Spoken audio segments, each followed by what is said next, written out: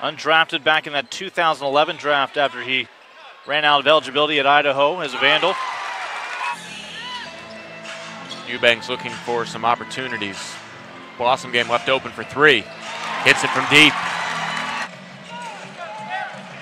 Blossomgame looking to create some offense down the right, right lane line.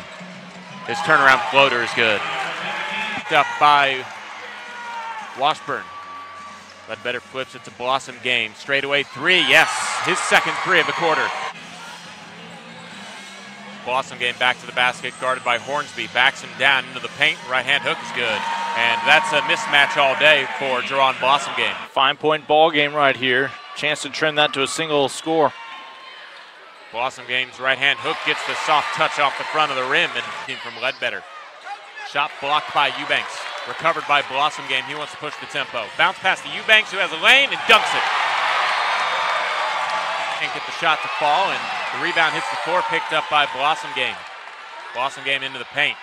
Right hand layup is good off the glass. Bounce by Eubanks.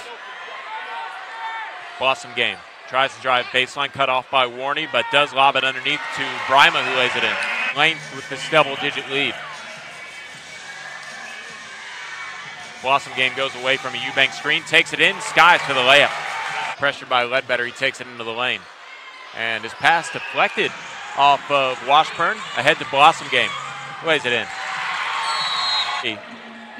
Cross court pass to Blossomgame in the left corner. He's going to pump fake, make it off of his feet, and get the two pointer to fall from the free throw line.